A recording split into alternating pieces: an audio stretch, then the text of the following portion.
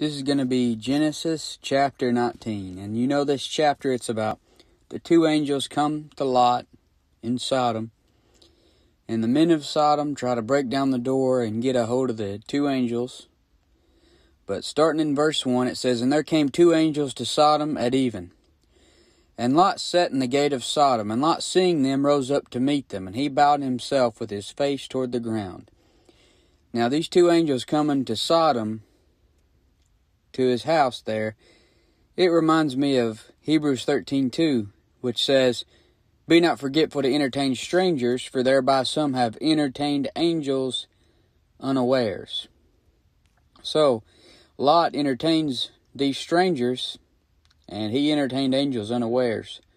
The two angels from chapter 18 are the same two angels that show up here in town in Sodom, and the Lord is about to destroy the place but he's not going to leave a righteous man behind. This shows me that even two or three people matter to the Lord. One or two people matter.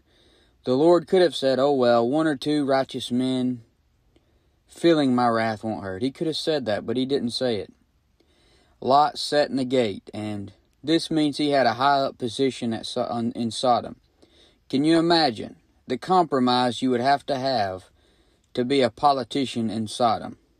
And get voted in. Can you imagine? But Genesis 19:2 said, And he said, Behold now, my lords, turn in, I pray you, into your servant's house, and tarry all night, and wash your feet, and you shall rise up early and go on your ways. And they said, Nay, but we will abide in the street all night. So notice some more things about the angels. Lot, it seems, as far as we know, doesn't even realize that these two men are angels so far.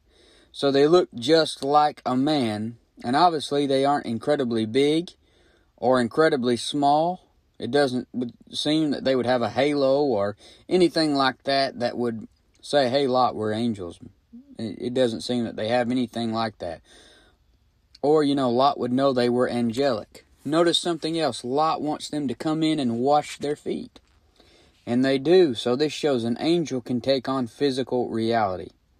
Before they came, before they come in, they decline what Lot says, and they say, Nay, but we will abide in the street all night. So this shows me they're fearless. They aren't afraid of men. I mean, they're going to stay out all night in Sodom. That would be a scary place to stay out all night in. I mean, why would they be afraid of men? Because 2 Peter 2.11 says they are greater in power and might than men. In Genesis 19:3 it says, "And he pressed upon them greatly, and they turned in unto him. And he entered into his house, and he made them a feast, and did bake unleavened bread, and they did eat."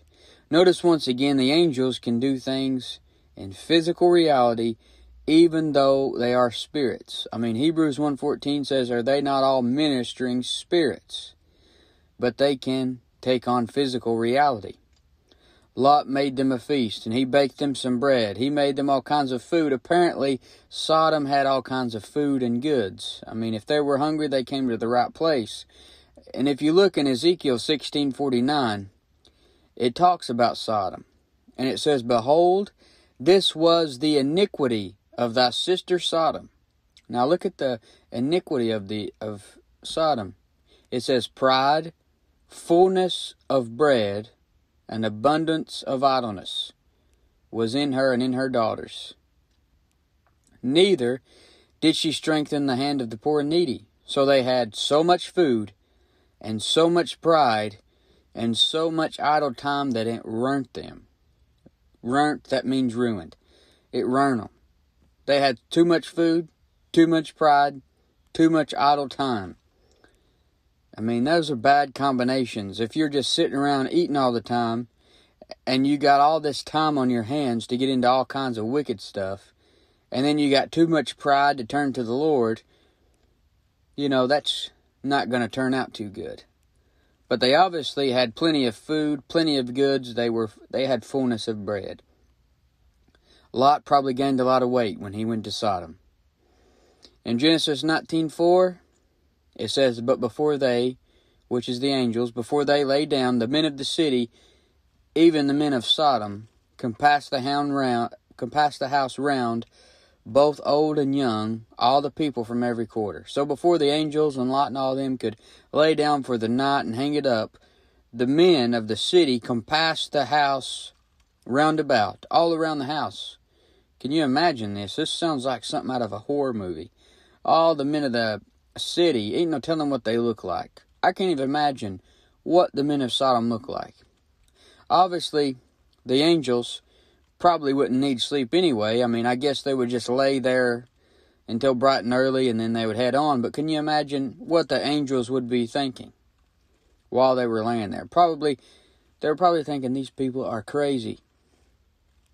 I bet they think people are crazy because they don't have sinful flesh. They don't understand what you have going on. They just take orders from the Lord and they accomplish the things the Lord wants done. But the men of Sodom crowd around the house and I guess they're going to stay out all night and sleep in all day. You got to watch doing that too. You know, unless you got a good excuse for it. Like you work third shift, or you got a crying baby, or you got a crazy wife, or something.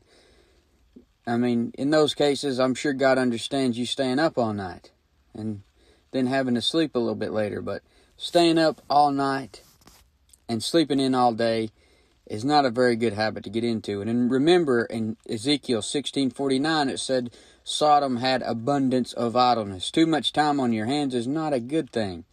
If they had been working with their hands hard enough, they would have probably got their hind ends in bed. They wouldn't have been out doing this crazy stuff, trying to get with these angels. It says in Proverbs 4:16, "For they sleep not, except they have done mischief, and their sleep is taken away unless they have unless they cause some to fall." So they sleep not except they have done mischief. They're going to go out and do some mischief before they get in bed.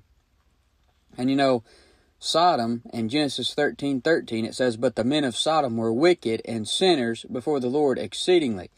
So this ain't some friendly people trying to, you know, ba- baking these angels some cake and trying to be neighborly here. The people were gathered around Lot's house, and they're wicked men. And notice that it said that they're both old and young. It wasn't just the older men who were corrupt, but the younger men as well. And when they have drag queens and lesbians and sodomites on children's TV shows today, this reveals that they are trying to corrupt the young. They are after the children. The men of Sodom, both old and young, were compassed around the house. The devil and unclean spirits like to go after the weakest link. They'll go after the young ones. The devil possessed son in Mark 9:21 had been possessed since he was a child. The agenda of homosexuals has always been to get the children. And I remember that movie called Hocus Pocus when I was a kid. And since Halloween's coming up, a lot of people's going to be watching that. And and those witches, they wanted the children. And I remember this other movie when I was a kid, another stupid uh, Halloween movie called Ernest Ernest Scared Stupid. And the troll guy in the movie was after the children of the town. Isn't it weird that they're always going after the children?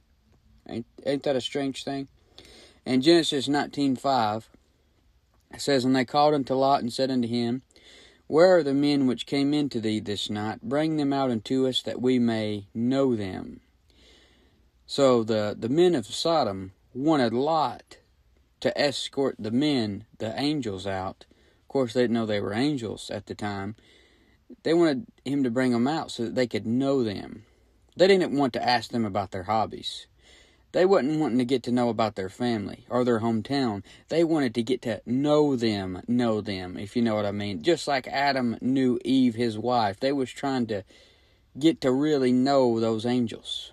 The men of Sodom were after strange flesh. They could have lain with the angels as the women did in Genesis 6. And Jude, the book of Jude, in verse 7, it says, even as Sodom and Gomorrah and the cities about them in like manner, giving themselves over to fornication and going after strange flesh, are set forth for an example, suffering the vengeance of eternal fire. And you'll notice that verse, it's in context right along with those angels. Look at the verse right before it.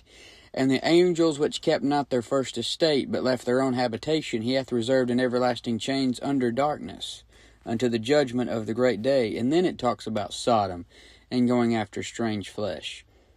So the things the men of Sodom desired to do were an abomination. In Leviticus 18:22 it says, "Thou shalt not lie with mankind as with womankind. It is abomination." If you're a man and you lie with another man, that's an abomination. In Leviticus 20:13 it says if a man also lie with mankind as he lieth with a woman, both of them have committed an abomination. They surely they shall surely be put to death, their blood shall be upon them. The men of Sodom were in open and unashamed sin. They were out all night seeing what they could get into. In Isaiah 3 and verse 9 it says, The show of their countenance doth witness against them. They declare their sin as Sodom, they hide it not. Woe unto their soul, for they have rewarded evil unto themselves. Notice it says, They declare their sin as Sodom, they hide it not. Their countenance doth witness against them. Many of these people who are sodomites today, their countenance witnesses against them. You see the pride, the, the they're very unashamed that they live in this openly wicked lifestyle, and they want to recruit your kids to be a part of that lifestyle. In Genesis 19, 6 and 7, and Lot went out at the door unto them and shut the door after him and said, I pray you, brethren, do not so wickedly. He said, I pray you, brethren, do not so wickedly. Lot knew how perverted the men of Sodom were. The reason homosexuals are called sodomites is because of Sodom's sex perversion. Notice it isn't only citizens of Sodom who are called sodomites in the Bible. A lot of people try to say that. But look at Deuteronomy 23:17. It says, "There shall be no whore of the daughter of Israel, nor a sodomite of the sons of Israel." And then in 1 Kings 14:24, and there were also sodomites in the land, and they did according to all the abominations of the nations which the Lord cast out before the children of Israel. Sodomites were wicked people in the Bible. It's a wicked sin. Lot calls the Sodomites brethren. Now, this pictures a backslid Christian who pretends that everyone is all right with the Lord. While he may not completely agree with sodomy, he probably wouldn't outright condemn it to their face, but might say something like, I, I just don't think it's the Lord's best, guys. I mean, every, everybody can do what they want to do, but I just don't think it's the Lord's best with a smile on his face. Kind of like that one famous TV preacher said on Larry King. Although in this situation, Lot tells them to do not so wickedly. Deep down, even the most compromised saint usually knows it's a vile sin to commit sodomy. And the reason he was sticking his neck out there is because, you know, it was considered uh, just a horrible thing if you take some people into your home and let something like this happen to them. So he was really sticking his neck out because he allowed these men to come into his home and he had to he saw taking care of them just even more than taking care of his own family. And see, in 2 Peter 2 8, it says, For that righteous man, talking about Lot, dwelling among them, and seeing and hearing, vexed his righteous soul from day to day with their unlawful deeds. So it calls Lot a righteous man. It says he's a righteous soul, and it says the people vexed him. The things going on in Sodom deep down bothered him. He had to compromise to set in the gate. He had to compromise to live there and go along with everything that was going on. And noticed seeing and hearing. In seeing and hearing, the things he saw and heard vexed his righteous soul. Many times you put yourself through. There are Christians who will, who want to watch wicked things on TV, or listen to to ungodly music. Their flesh likes the music or whatever else, and it vexes them in seeing and hearing. Something in them, it really bothers them and they don't like it. But there's something in them that does like it, so they keep listening to it. It's no different than Lot in Sodom. He's seeing and hearing some wicked things. Deep down, it bothers him. It's it, he has to compromise to to listen to it. Many times, a Christian might watch a movie that says the Lord's name in vain over and over again, saying GD, mother effer, and all these type of things like that. It gets to them, but then after a while, maybe they get a little bit desensitized to it and it becomes easier. But notice how corrupt Lot has become by living in Sodom. He's willing to bring out his own daughters to them. He says in Genesis 19:8, Behold, now I have two daughters, which have not known man. Let me, I pray you, bring them out unto you, and do you to them as is good in your eyes. Only unto those men, unto these men, do nothing. For therefore came they under the shadow of my roof. So he's now he's sticking his neck out and st- standing up to these guys now, because he knows it's the right thing for him to take care of the people he put under his roof. But he's still corrupt. Look how corrupt he is. He's willing to bring out his own two daughters to them so that they won't take them in. He said, Do ye to them what is good in your eyes. Man, that's a horrible thing. What is good in man's eyes can be completely vile in the eyes of God. He says, Do ye to them what is good in your eyes. Do you know why such crazy things went on in the book of Judges?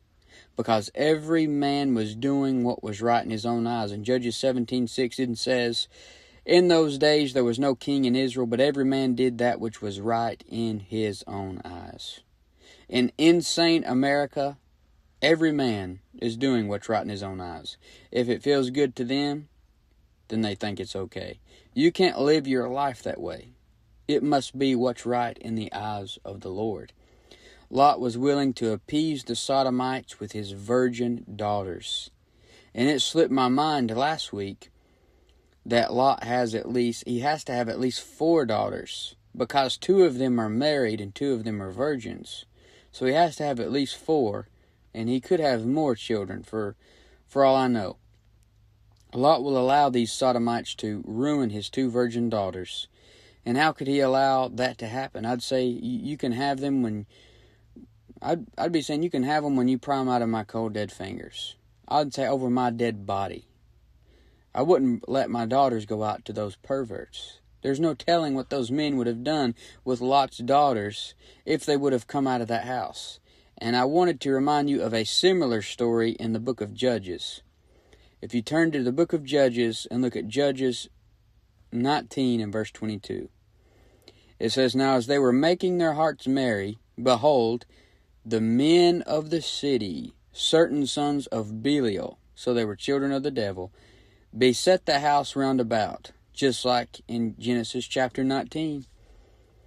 They got all around the house and beat at the door. They didn't knock. They didn't ring the doorbell. They beat at the door and spake to the master of the house, the old man, saying, Bring forth the man that came into thine house, that we may know him. And remember, this is in the book of Judges. In Judges 17, it says, Men were doing what was right in their own eyes. And it says, And the man, the master of the house, went out unto them and said unto them, Nay, my brethren, nay, I pray you, do not so wickedly. Same thing Lot said, Seeing that this man is come into mine house, do not this folly. Behold, here is my daughter, a maiden, and his concubine, them will I bring out now, and humble ye them, and do with them what seemeth good unto you. But unto this man do not so vile a thing. It's almost like it, they saw the act of sodomy so wicked that they would rather them rape their own daughters. It's almost like they saw uh, them raping a woman as a more righteous thing than the act of sodomy. But it says, But the men would not hearken to him. So the man took his concubine and brought her forth unto them, and they knew her, and abused her all the night until the morning. And when the day began to spring, they let her go. So this, this man, just as corrupt as Lot, lets them take this woman. You see, you shouldn't let them take anybody. You should stand up to them and don't let take let them take anybody.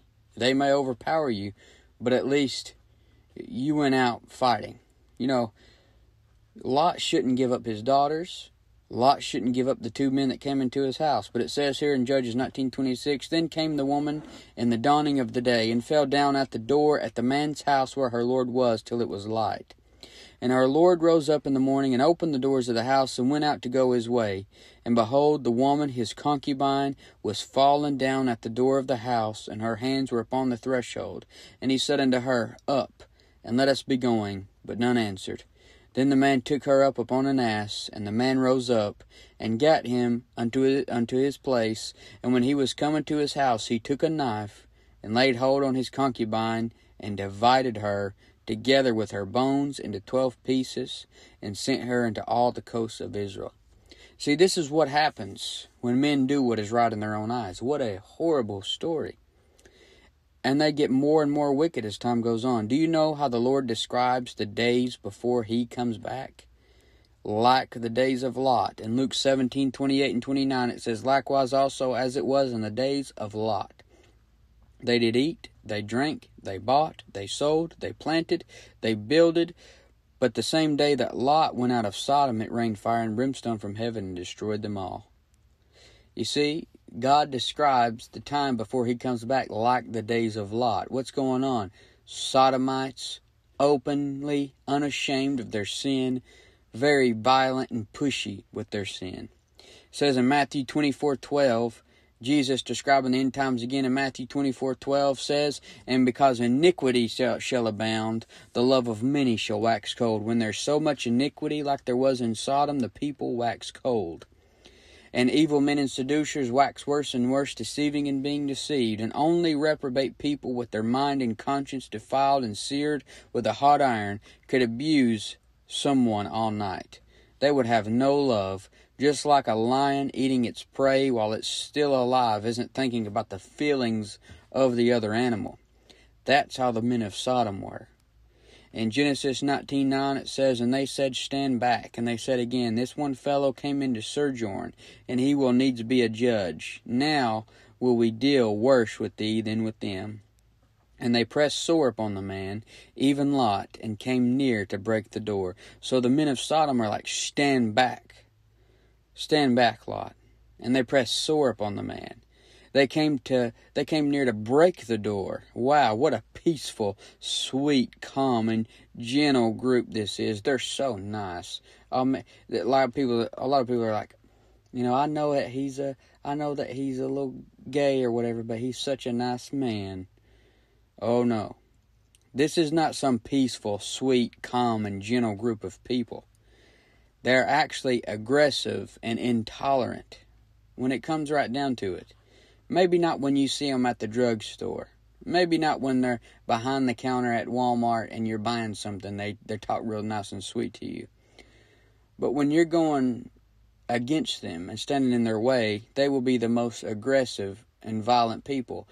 And if it was up to them, if you stood in the way of them being able to fulfill all their sexual fantasies and desires, if you were the one standing in their way, they would have you killed just as quick as they could think. They will not stand for you dis- disapproving of their lifestyle. They're going to get those two angelic men to come out and have sex with them, and they're going to do it even if they have to break down the door. It says in Genesis 19:9, and they said, "Stand back." And they said again, This one fellow came into sojourn, and he he will needs be a judge.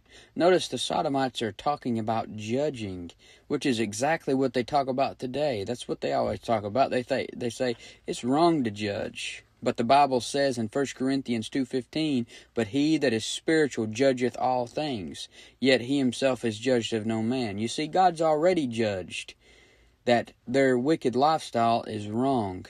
And I've done show you the verses in Leviticus. It talks about it again in Romans chapter 1, where it says, For even the women did change the natural use into that which is against nature.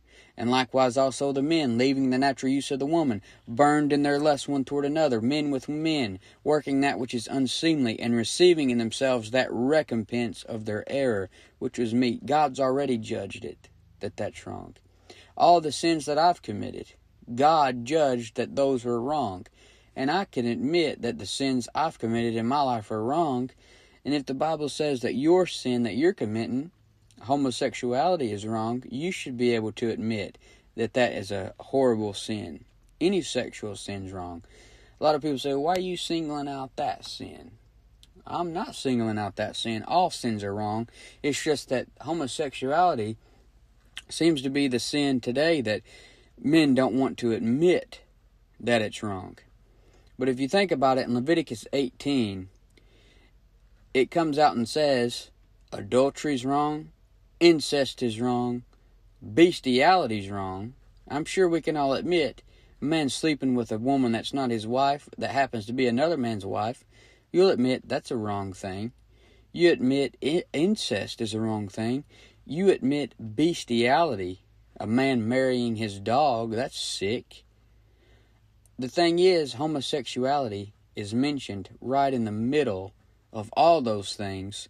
So if those three things are wrong, that's obviously wrong. So, so the angels, look at what they do. In Genesis 19, 10 and 11, it says, But the men put forth their hand and pulled Lot into the house to them and shut to the door. And they smote the men that were at the door of the house with blindness, both small and great, so that they wearied themselves to find the door. So the angels have power to smite people with blindness.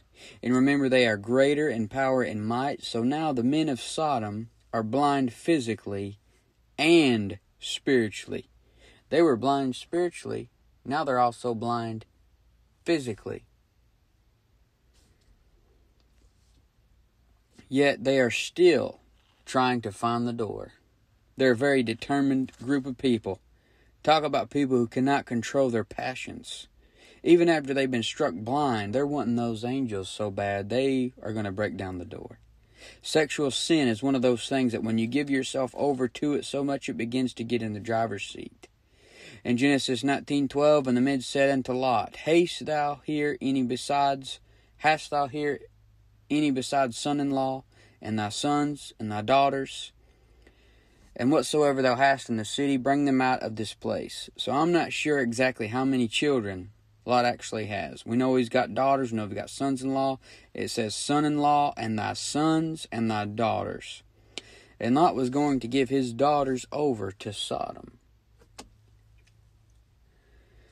The angels tell him to tell him to get anyone close to him and bring them out of this place. You need to get everyone close to you and bring them out of this world, spiritually speaking. This world and world system is going to be destroyed. It's wicked and it's temporal. In Genesis 19:13, it says, "For we will destroy this place, because the cry of them is waxing great before the face of the Lord, and the Lord hath sent us to destroy it." Notice something else about the angels. They come to accomplish what God has told them to do, and they are just going to complete the mission. That's their purpose. Verse 14 And Lot went out and spake unto his sons in law, which married his daughters, and said, Up, get you out of this place, for the Lord will destroy this city. But he seemed as one that mocked unto his sons in law. When you have compromised so much that you are a political figure in a place as wicked as Sodom, then you can expect people to take you as a joke if you try to preach to them. Lot seemed as one that mocked. You can't go to work and cuss and tell dirty jokes and treat people like trash and then come in the next day and say, Repent, turn to God. You can't do that. They'll say, Look who's talking. You need to turn to God. They'll mock you because you'll seem as one that mocketh to them. In Genesis 19:15 it says, And when the morning arose, then the angels hastened Lot, saying, Arise, Take thy wife and thy two daughters which are here, lest thou be consumed in the iniquity of the city. First thing in the morning, the angels are rushing Lot to get him out of town. It's a shame they have to tell him to take his wife and daughters. It's like being it's like being in a big city that is about to get an atom bomb dropped on you and you're the only one that knows about it. You would have a clear path to get on the road and get out, Yet look what Lot does. Look what he does in verse 16. It says, And while he lingered, he lingered. He should be hightailing it out of town. When the, when the Lord warns you to do something, don't linger, just get with it. The men laid hold on upon his hand. They had to get him out. They had to physically get him out. and upon the hand of his wife, and upon the hand of his two daughters, the Lord being merciful unto him. The Lord is being merciful to this man. And they brought him forth and set him without the city. Notice a great illustration here, though. Look at Lamentations 3 22 and 23. It says, It is of the Lord's mercies that we are not consumed, because his compassions fail not. They are new every morning. Great is thy faithfulness. It is the Lord's mercies that me and you are not consumed. Notice what the angel said to Lot. It says, Arise, take thy wife and thy two daughters which are here, lest thou be consumed in the iniquity of the city. The only reason we won't be consumed is because of the Lord's mercy on us, just like it was on Lot. In Genesis 19:16 it says it said the Lord being merciful to him. The mercy of God is when God keeps you from going through something you deserve. And notice Lamentations 3:23 said the Lord's mercies are new every morning. And in Genesis 19:15 it says and when the morning arose then the angels hastened Lot. Morning arose God's mercy was new. It was new for Lot, new every morning and it was of the Lord's mercy that he wasn't consumed, because his compassion fails not. God was, God was extremely merciful to Lot, allowing the angels to take him out of Sodom, even when he was a backslid compromiser. And verse 17 in Genesis 19 says, And it came to pass when they had brought them forth abroad that he said, Escape for thy life, look not behind thee, neither stay thou in all the plain, escape to the mountain, lest thou be consumed. This reminds me of the verse in Matthew 24. In Matthew 24:16, when the Jews flee, it says, Then let them which be in Judea flee into the mountains. The tribulation saints will have to escape to the mountains. If they want to escape to the to the mountains, then they're going to see those antichrists and the henchmen coming after them. In Genesis 19:18, and Lot said unto them, Oh, not so, my Lord. Look at that. Lot is in such a backslid condition that he thinks he knows more than the angels of God. Notice that when you talk to someone who is out of fellowship with the Lord, they think they have it all figured out. In verse 19 it says, Behold, now thy servant hath found grace in thy sight, and thou hast magnified thy mercy, which thou hast showed unto me in saving my life, and I cannot escape to the mountain, lest some evil take me and I die. So he's afraid of what might be up in the mountain. Maybe animals. Maybe hillbillies with deformities that are killers. Maybe Lot is a soul trap listener and he's afraid of what he might see in the dark. You know, this Soul Trap by Joel Tillis. That's a good podcast. I have to give it a shout out. But in Genesis 19:20, behold now this city is near to flee unto, and it is a little one. Oh, let me escape thither, is it not a little one, and my soul shall live? So Lot is such a city slicker. He's such a city slicker now that he isn't about to go camping in the mountains. He knows about this little city.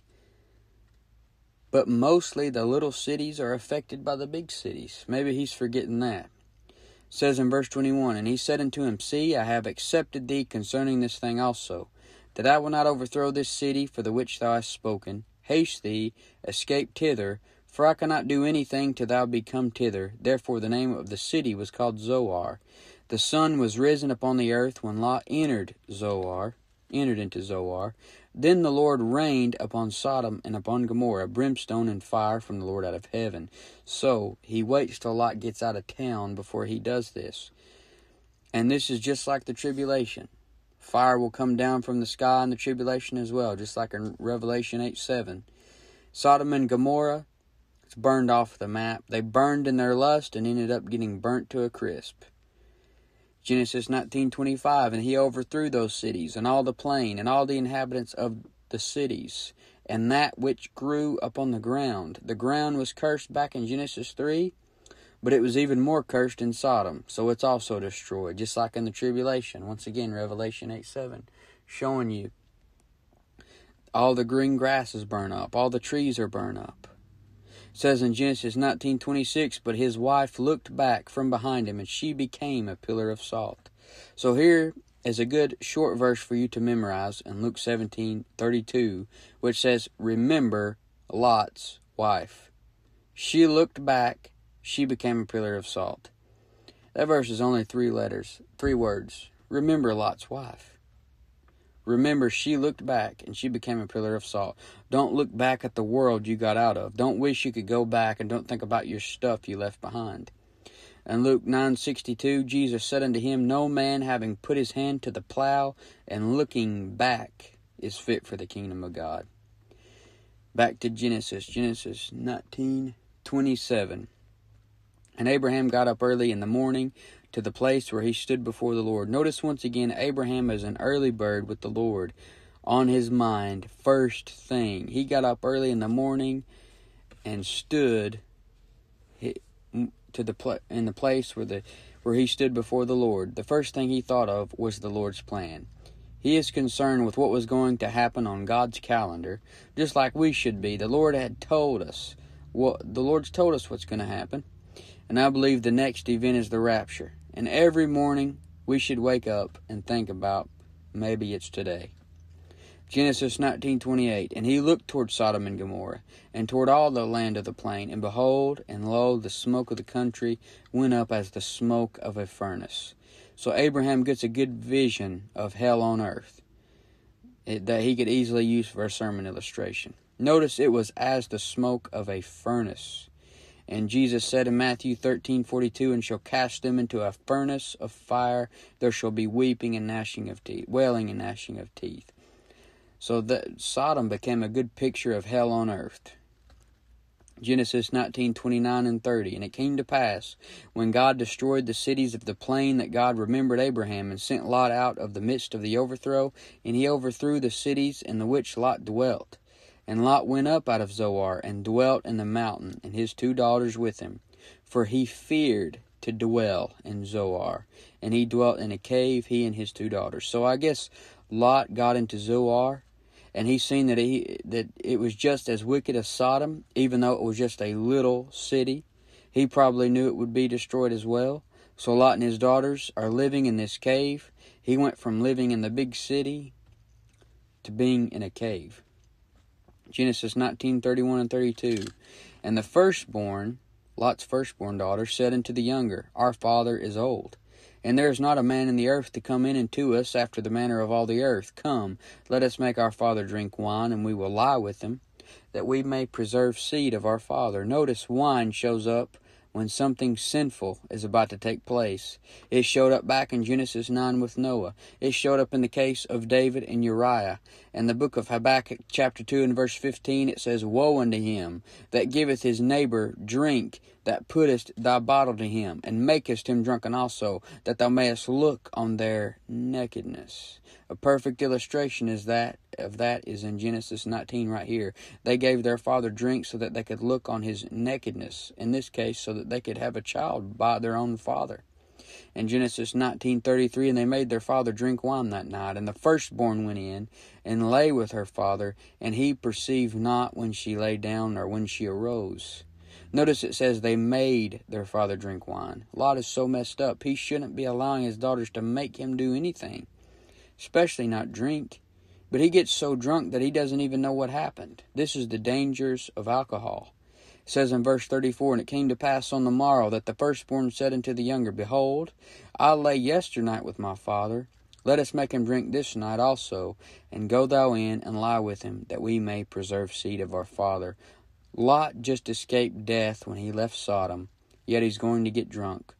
You would think Lot and his daughters would be a little shook up after what just happened, but look what they're doing.